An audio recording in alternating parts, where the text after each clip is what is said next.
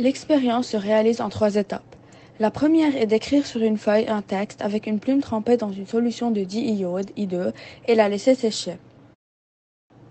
Comme nous pouvons le voir, nous avons trempé le pinceau dans la bétadine et nous avons tracé une tache sur la feuille. La deuxième étape est de pulvériser la feuille avec du jus de citron jusqu'à ce que le texte disparaisse et la laisser sécher. En fait, nous avons trempé un autre pinceau dans le jus de citron avec lequel on a recouvert la bétadine.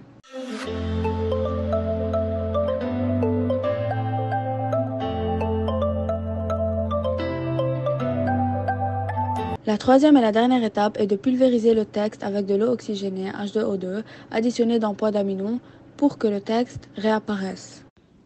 Nous avons versé dans un spray un peu d'eau, de la fécule de maïs avec de l'eau oxygénée.